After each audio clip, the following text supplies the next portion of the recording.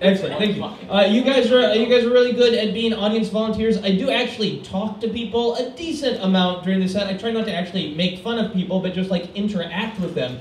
If I'm approaching you and you don't want to be interacted with, that is just fine. You can just signal me by just sort of having a fit and yelling in tongues. and then I will know to leave you alone. That is one of those great jokes that's true. Uh, I approached someone uh, to do a pretty friendly, like, audience interaction bit, and I said, oh, hello, what's your name? And the woman thought for a moment, and she said, and the whole audience freaked out like she was having an attack, and cell phones came out to, like, maybe dial 911. But to me, it was really, really obvious that I had approached her and said, Hi, what's your name? And she thought for a moment, and what she meant to say is, Hello, I know you're doing a comedy routine.